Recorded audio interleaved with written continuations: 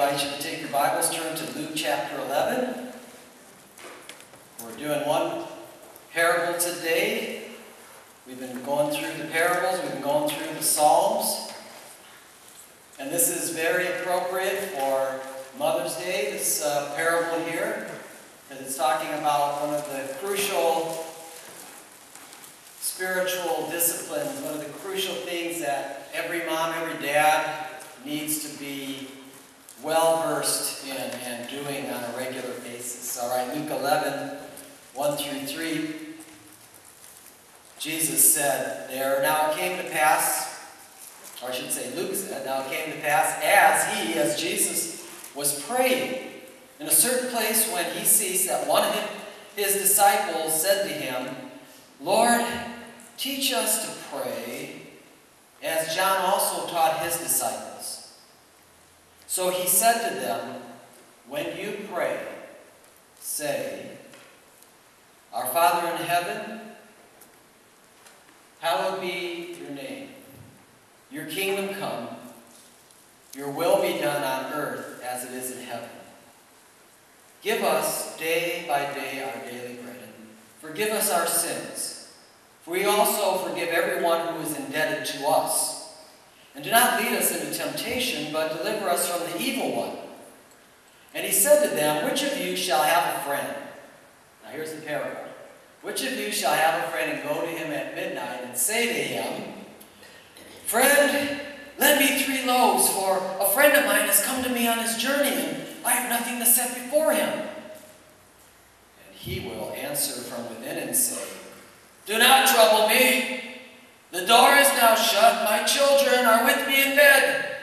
I cannot rise up and give to you. I say to you, though he will not rise, I say to you, though he will not rise and give to him, because he is his friend, yet because of his persistence, he will rise and give to him as many as he needs.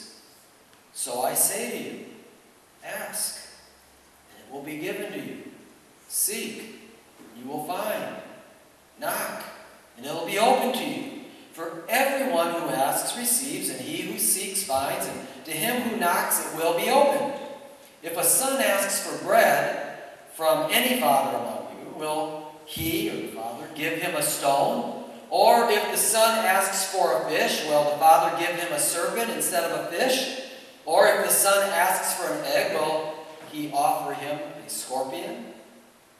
If you then, being evil, know how to give good gifts to your children, how much more will your heavenly Father give the Holy Spirit to those who ask him? Lee Eclov, who was a longtime pastor in the Chicago area, area I grew up in, he was sharing a message about a friend of his on Facebook. His Facebook friend's name was Diane. And uh, let's see, did I miss not having the Facebook? Is the Facebook thing missing, Robert? Uh, there we go. Okay, I don't know what was happening. Are, are you running this, Robert, or am I running this? I got the... You are. Okay, I just wanted to know. okay, thank you. So this is what Doc, uh, Pastor Said about his friend on Facebook in South Dakota. She lives in South Dakota. Okay? He said, I was surprised to read a Facebook post from a friend in South Dakota named Diane. In her post, she wrote, quote, had a nice surprise last night. At 10.30 p.m., the phone rang. It was Governor Mike Rounds checking in to see how the road repair was going. Unquote. And Pastor Eclov says, there had been a lot of flooding in the area where Diane lives and the roads were a mess. And the governor actually called her to see how she felt about the repair process. Then the pastor said, when I wrote to Diane to express my surprise, she said it wasn't the first time a governor called her. Another time, years before, one of South Dakota's previous governors called about some FEMA money for the area. She told me that when the governor called, she was in the middle of a home perm but couldn't very well tell the governor to hold while she rinsed her hair. She added, quote, that frizzy hair haunted me for weeks. I know that South Dakota is a small state, Pastor Eklund said, but this was incredible to me. I asked Diane if she was in county government or something, and she said she wasn't. Sensing I was blown away by her interactions with the government, she had this to say. Listen very carefully. She had this to say. I have found that shaking the tree from the top gets the fastest results. I have found that shaking the tree from the top gets the fastest results. Now, this parable that we are considering this morning is about a man who understood the value of what Eklund's friend Diane knew when she said that shaking the tree from the top gets the best results. And you know, that's what I'd like to talk to you about this morning. The title that I've given to my message is The Value, sorry about that, The Value of, hey Robert, I don't know. You've got them out of order, Bob. I'm sorry? There you go. Okay, thank you. This is the title, The Value of Shaking the Tree. You know, uh, this is obviously revolving around disciples asking Jesus, Lord, teach us to pray. Moms, on Mother's Day, this is crucial. Moms, grandmothers, great-grandmothers. You know, Dolores down here, she just had great-grand triplets. great-grand triplets. And so, there's always a need for prayer warriors. And like this woman named Diane said, the best way to get things done the top. So we get to go to the very top. Let's bow our heads for prayer, everyone, and see what God has to say to us today. Lord, we thank you for your word. Thank you for bringing us together, Lord. We just ask that, Lord, we would be really touched, Lord, by your word today. That God's Spirit would work in our hearts and lives as only He can do. Lord, I'm just a vessel here. I'm just conduit for God to speak to His people. So, Lord, use me today. Use these words, use these uh, images, Lord, that we'll put on the screen. And Lord, help us to bring you honor and glory, Lord. And may all of your people leave here saying, it's been good to be in the house of the Lord. And we pray these things in your precious name, Lord Jesus. Amen. Love the man Philip Yancey in his book, Philip Yancey. Robert, I'm hitting the top uh, button. Go one more. Go one more. Okay, I don't know why it it backs up, but anyway. Um, as, this is Philip Yancey's book on prayer. He said, as Jesus once prayed for Peter, now he prays for us. In fact, the New Testament's only glimpse of what Jesus is doing now depicts him at the right hand of God, interceding for us. Mm. In three years of active ministry, Jesus changed the moral landscape of the planet. For nearly 2,000 years since, he's been using another tactic prayer. prayer. Philip Yancey's an amazing writer, and he's said some amazing words here. This is right on the money. He ever lives to make intercession for you and me. As we lift our prayers up to God, God, the Lord Jesus, is interceding for us at the right hand of God. Amazing. Amazing. This parable before us today is about a man who just wouldn't give up. Jesus told this story in the good in the, in the Bible days, in the days of Jesus, when people would travel, friends, family, strangers. If a stranger comes needing a place to stay overnight, they would gladly help people.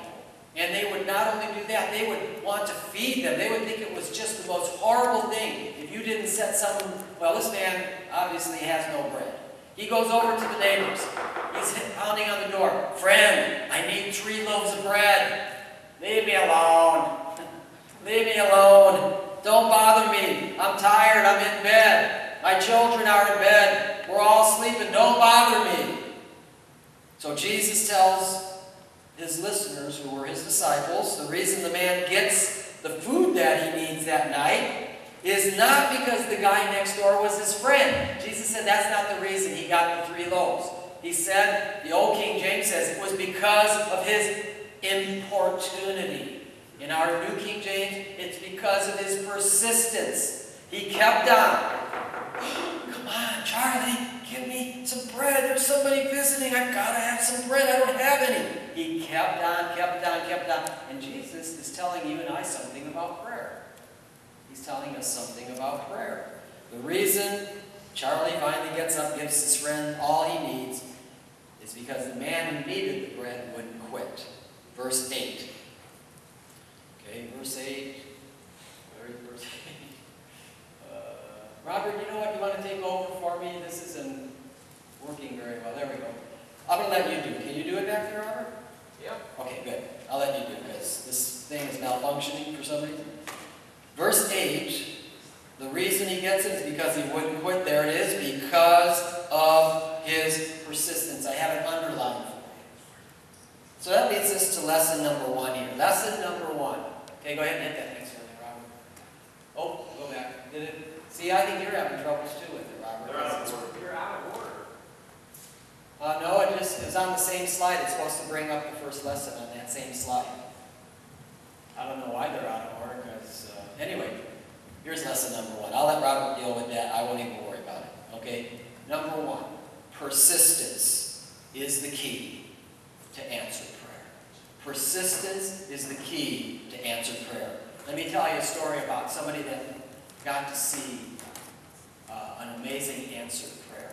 It's a Christian sister whose name was Char or Christy Borthwick.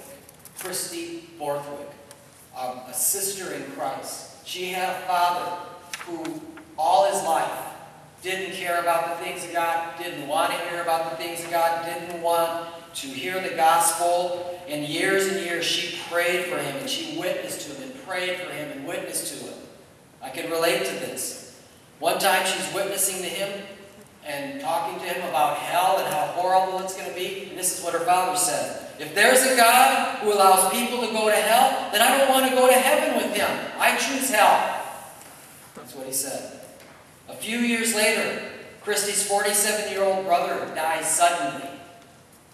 And after the funeral and after burying her brother, she's talking to her dad again and saying, Dad, you really need to realize once you die, it's all over. And her dad was belligerent when she tried to offer him, him the gift of eternal life and tried to tell him that it's a free gift. This is what he said Eternal life is a myth. There's no heaven or hell. Just put me in the grave. The grave is all there is. So obviously, she needed divine help, like we all do. I mean, we can't win anyone to the Lord without help and without. You know, by the way, I remember the man that led me to the Lord. He told me that he fasted and prayed for me the weekend before I got saved. When I went to his apartment, my dear brother, who's still pastoring in Florida, he said, Bob, you see right there? Right there, I knelt down for you and I wept and I prayed that you would get saved. Amazing. Well, Christy kept praying tenaciously. She called her friends. She got on the internet. She got on email. She sent emails to over 500 people saying, pray for my dad. I'm really going to pray for him. And so guess what happens? Two weeks later, he begins to soften up. He softens up. He hears her share the gospel again, and he gets saved. He gets saved. God had answered 29 years of prayer. Not a pastor, not a missionary, not an evangelist, not some special super saint, Billy Graham, Rick Warren, Chip Ingram, Charles Stanley. No, a sister in Christ who kept knocking and kept knocking and kept knocking, and God answered. Listen, I've been praying for my family almost 37 years. And you know what? I don't intend to give up. Now, on a human level, you know, to me, on a human level, it almost seems hopeless. But you know what? Not going to give up praying. Because isn't it true? With man, it seems what? Impossible. Impossible. But with God, what? All things are possible. So you know what? I'm not going to quit. I'm going to keep going. And just keep coming to God, humbly lifting prayer. Lord, yesterday I prayed. Because they're on our prayer list every month. So, persistence Persistence is the key to answered prayer. God hears the prayers of ordinary saints. Now, when I was growing up, I remember my mom and dad. I told you this story before. I'd be sitting at the kitchen table in the morning like I always did. My dad would sit there. Every day he'd get the same thing. He'd get his Chesterfields, he'd get his cup of coffee, he'd get a piece of toast with peanut butter on it. He didn't, you know, my dad was the easiest man to, cook for. You know what? Every night, my mom made basically the same thing. He didn't want spaghetti. He didn't want lasagna. He didn't want, you know, she'd always be changing it up for us. He wanted the same thing every meal. I want my, my roast beef and gravy and potatoes. You know, he just wanted us, uh, just, you know, my dad probably, he could have probably had two shirts in the closet, two pairs of pants, one belt, and a pair of shoes. I mean, you know, he didn't need to change. Here we go. All right, he just liked to be right on the money. Okay. So, but you know, again, even when my dad got raised up to be, he got a, a promotion to be an engineer, started making like twice as much money. We had six people in our family and a lot of bills. My mom and dad ran up the credit cards too high, and so there was a lot of uh, debt, a lot of uh, interest that they were fighting. And so, you know, my dad, as an engineer for the phone company, as an installer, he used to get two checks a month. When he became an engineer, the engineers only got paid once a month, but it was always a lot more. But even then, I mean, I remember is like clockwork. It almost happened every month, but it probably didn't. It just seemed to be like that. But on about the 10th or the 15th of the month, you know, my dad only gets paid once a month. My dad would say to my mom, Hey, Spud, that was my mom's nickname. I have no idea why he called him Spud. I'm going to have to ask her sometime. She, she won't remember now, but anyway. Spud, uh, I, I need some money. I'm going out with the guys today for lunch. Oh, Bill, we, we're all out of money. We don't have any money. What? and he'd always have the same reaction. You know what? What do you mean we don't have any money? It's only the 12th. It's only the 15th. It's only the 7th. Oh, well, Bill, you know, I paid all the bills and there's no more money left. Oh, I mean, you know, so we'd have a rigmarole every month. You know, I should have just had a little buzzer on the table that I was ready to push before. Spud, I need 20. Ding, ding, ding, ding, ding, ding, ding. I should have had something there to pop, you know, to break things up a little bit because the same thing was going to come out. But uh, thankfully, he didn't lose it and start throwing things. You know, he just would get kind of worked up. And then he, I guess they, at that time, my mom and dad would probably start digging in drawers or something to look for coins or something, you know, to get some money uh, pulled together. But anyway, you know, they would basically, in essence, what was happening is that they were going broke on a regular basis. They would be broke. They had no money, no money in the bank, no money. Well, guess what, everybody? All that, that story to say, even though sometimes we go broke, God never goes broke. Humans do, but God never does. God always has money in the bank. He's always ready to answer our prayers. He's always ready to provide for us, to help us. And He's a great person to go to in prayer. Now, two things this passage does not say. Can we have that next slide, please? Two things the passage does not say. Because this can get confusing, this teaching on prayer in this parable. Number one, everyone who asks shall receive immediately. Okay, you all know that, right? Just because you, it says, ask and you'll receive. Lord, I need $500. See, people get confused. They say, I asked God. And I didn't get But, well, the passage doesn't say ask and you'll receive immediately. It says mm-hmm. ask and you will receive. Second thing the passage does not say. Everyone who receives, everyone who asks receives exactly what he or she asks for. It doesn't say that either. Okay? Sometimes God delays our prayers, they don't come immediately, and sometimes He gives us something, but it's not exactly what we asked for. But guess what? Thank God Almighty. Hey, have your children asked for certain things and you decided, hey, probably at this time, five Oreo cookies is not in your best interest. Here, have some carrots. Okay? You understand. Anyone that's been a parent understands. You don't always answer their request with what they wanted. Okay? Now, this leads us, what this text does not say, to lesson number two. Okay, lesson number two is this. For the Christian disciple, oh, I love this. There is no such thing as a wasted prayer.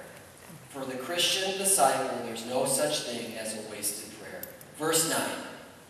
So I say to you, ask and it will be given to you. Seek and you'll find. Knock and it will be open to you. Why?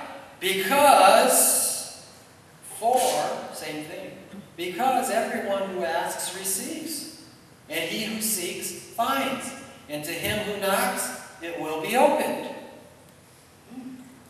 Listen, you remember you've heard of Augustine, Saint Augustine? He lived many, many centuries ago. Saint Augustine, or some people call him Augustine, it doesn't matter. Augustine. He was crazy wild before he got saved. He was a wild man. His mother prayed for him. She was so concerned for him.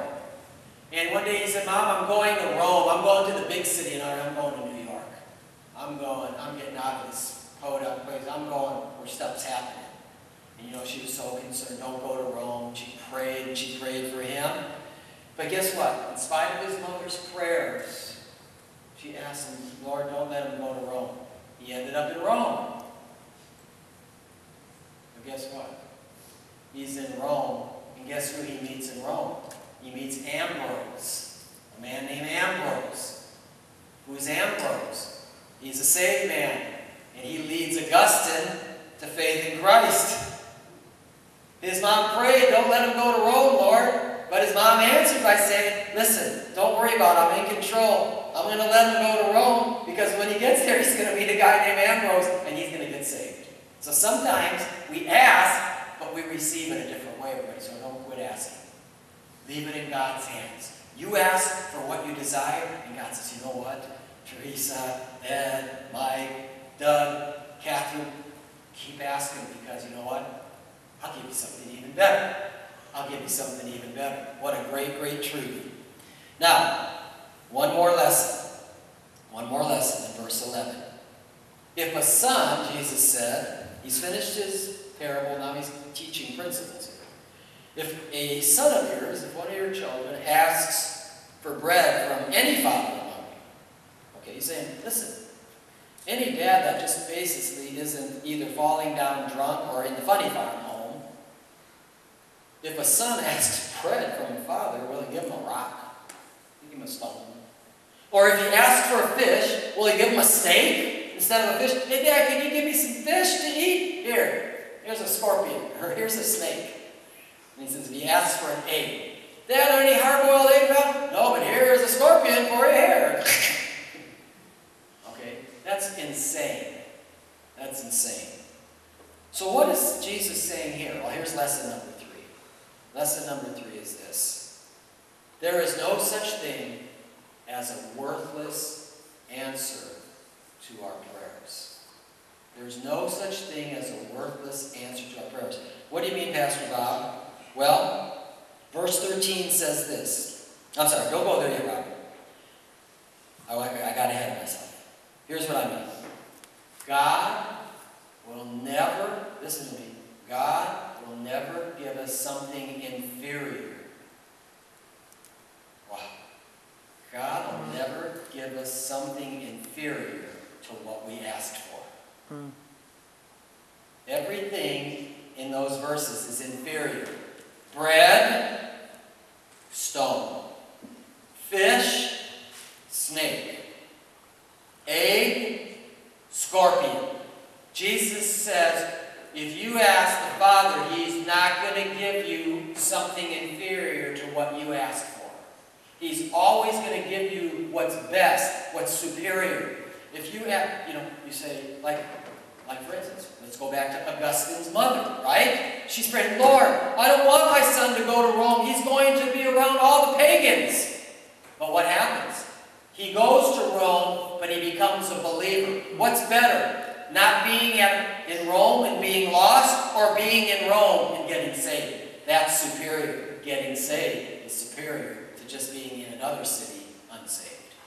God always, see, He knows what's best for us. So if you ask Him for bread, He's not going to give you a rock, but He may give you tapioca pudding. So what's that? I didn't ask for tapioca pudding. But you know what? For whatever reason, at that time in your life, that's going to be better for you than bread. Isn't that incredible, everybody? Not only aren't there any wasted prayers, but God, whatever you pray for, Jesus' is interceding for us at the right hand of God's throne, whatever you ask for, God promises to give you. If He doesn't give you exactly what you ask for, He'll give you something better. Hey, can you put your hands together about that? Huh? Is that not fantastic? I like that. I like that. You know, in verse 13, Jesus said this If you then, being evil, that's all of us on earth, if all you humans, being evil people, being people uh, prone to do what doesn't please God on occasion, sometimes more than that, if you then, being evil, know how to give good gifts to your children, see, he's proven it here. If you, just being mere humans, know how to give good things to your children, you want good stuff for them. How much more will your heavenly Father, underline that, how much more? How much, isn't that all over our New Testament? Much more than. How much more? Much more. You are more than conquerors. Wow. How much more will your heavenly Father give the Holy Spirit to those who ask Him? And of course, two years later, He did. He gave them the indwelling of the Holy Spirit, just like we have had ever since the day we were saved. People that were saved at that point had the Holy Spirit resting on them for special things. But they never had him living inside of them. But then at Pentecost, they kept praying, Lord, send the Spirit, send the Spirit, send the Spirit. God sent the indwelling Holy Spirit. And then he showed it to them. You say, why did they have fire coming down on their head? Easy. If God didn't send the wind blowing in the room, make a noise like a hurricane inside the room, and they didn't see fire on one another's heads, they would have no idea that the Holy Spirit was inside them. If God would have just went and waved a supernatural wand over them, and the Holy Spirit began to indwell them while they were praying, they would have never known it. Because He's invisible, He's silent, He's not talking audibly. So what He does is send signs to show them this is the coming of the Spirit. Wind and spirit come from the same Greek word, pneuma, pneumatic, and air drill pneumatic, things that people use on cars. It's powered by air. Okay, let's finish here with a story.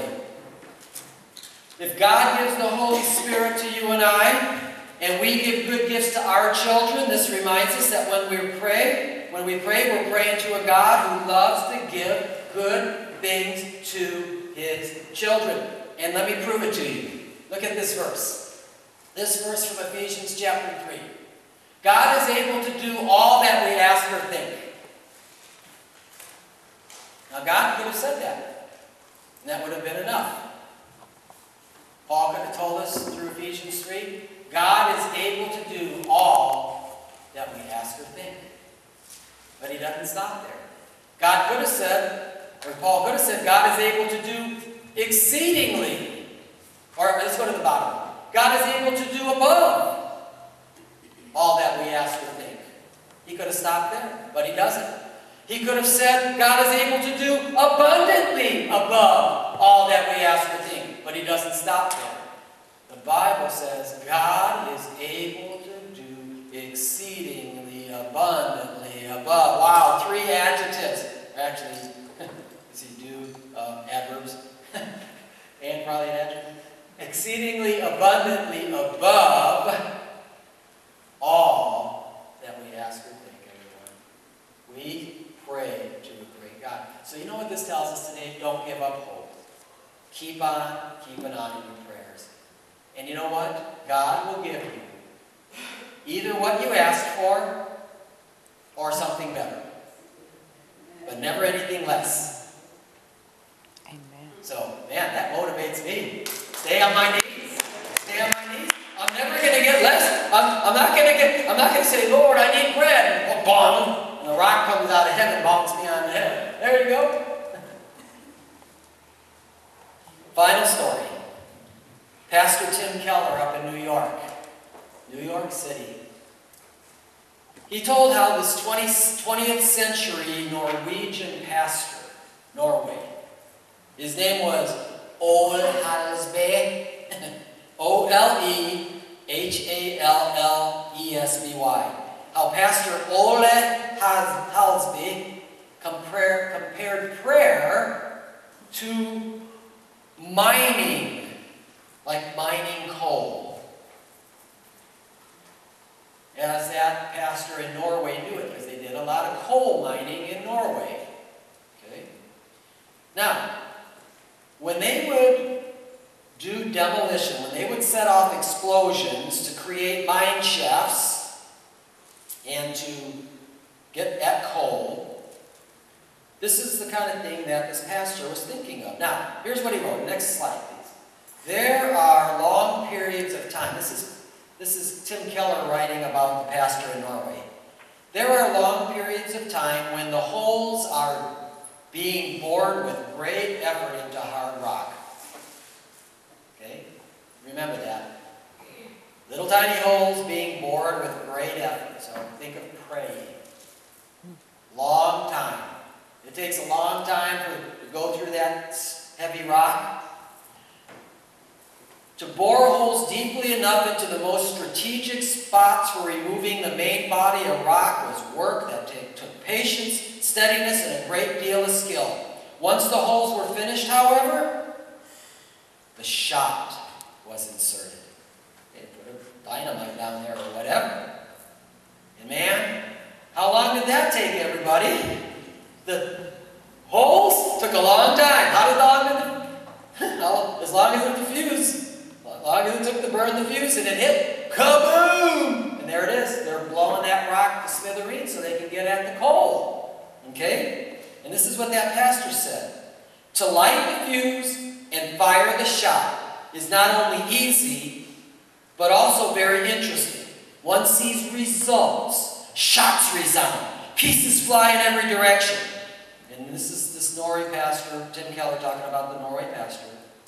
He concludes that while the more painstaking work takes both skill and patient strength of character, quote, anyone can light a fuse. This is the hard work, patience, drilling. That's the hard work, patience. Lord, I'm asking that you'll save so and so. Lord, I'm asking that you'll do this in my child's life. Lord, I'm asking this for my marriage. Lord, I'm praying for this about my job. Lord, I'm praying, okay? That's the long, painstaking work that you need to be patient and persistent in. But lighting the fuse, anybody can do that. And so here's what Tim Keller said. Put that last slide up there, maybe the second to last. Think of this with me. I love what he comments on the story. This helpful illustration warns us against doing only fuse lighting prayers, the kind that we soon drop if we don't get immediate results. If we believe both in the power of prayer and in the wisdom of God, we will have a patient prayer life of hole boring. Mature believers know that handling the tedium is part of what makes for effective prayers. We must avoid extremes, either not asking God for things or thinking we can bend God's will. Fuse lighting. Lord, I want this and I want it now. We must combine tenacious importunity. In other words, tenacious, striving persistence over and over again. A striving with God with a deep acceptance of God's will. Whatever it will be, whatever it is. We have to have both of those qualities. So, folks, prayer is hole boring. So you say, Pastor Bob, what do you want me to take away today? Okay, just three things and we'll pray. Number one, application number one. I actually I didn't put number one up there. but let me ask you this question. Do you pray at all? Do you, do you pray at all? Do you ask God concerning your, your uh, work? Do you ask God concerning your family, concerning your marriage, concerning lost loved ones, neighbors? Do you ask God concerning your children, your grand? Listen, do you pray at all? That's number one. So if you're here today and you're like, uh, no, I don't, Lord. Then, you know what? Take a step. Okay? Maybe every day, write five things on a card where you get dressed. And start there. And when you're getting dressed, it takes you five, ten minutes to to get dressed, okay, whatever.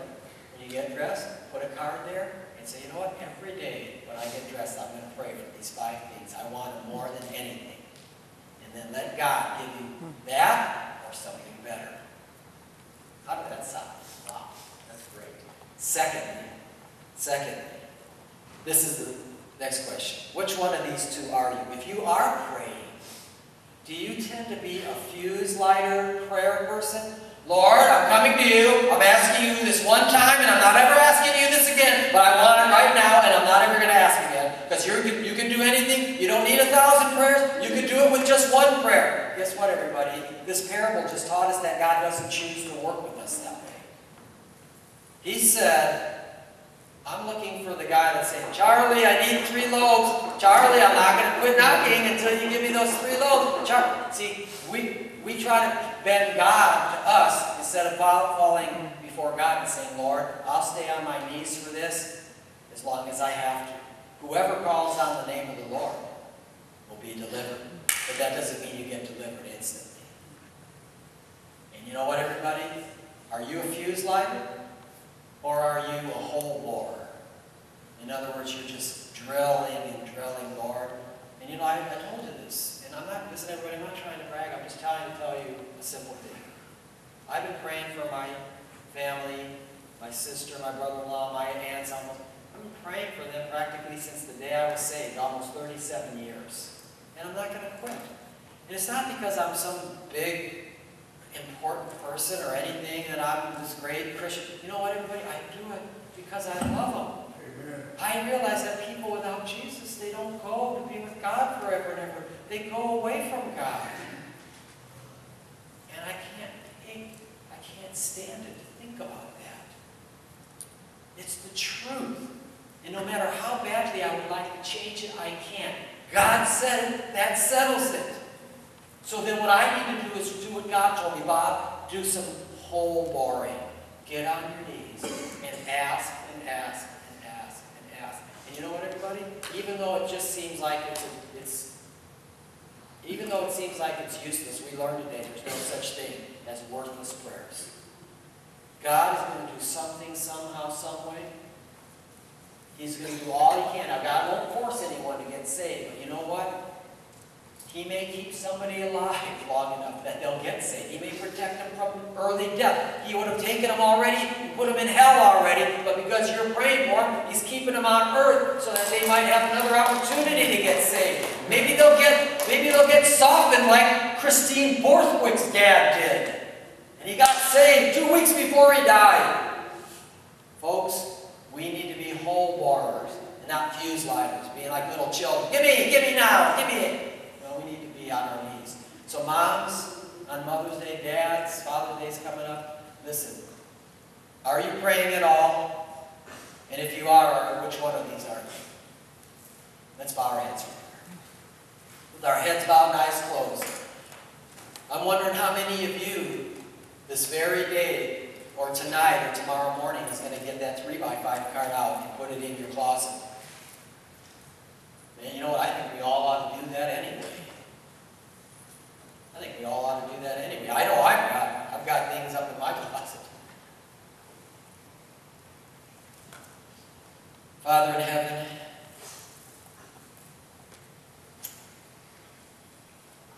I appreciate every prayer that your people raise for me, for this church, for the work of God in East Dallas, for young people, for children, for leaders, for people that need to be saved.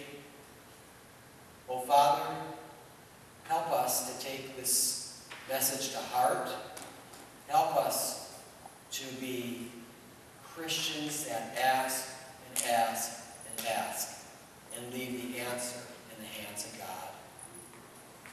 Lord, convict us of prayerlessness. Convict us of being flippant about it and not being serious and not seeking our God and saying, Lord, I really need this. And to be serious about it, Lord. Help us, Father, to grow into the likeness of Jesus. And we pray this in your precious name and for your sake, Lord. Jesus. Amen. Amen. All right. Glory to God. All right, now what's going on this week, okay? Uh,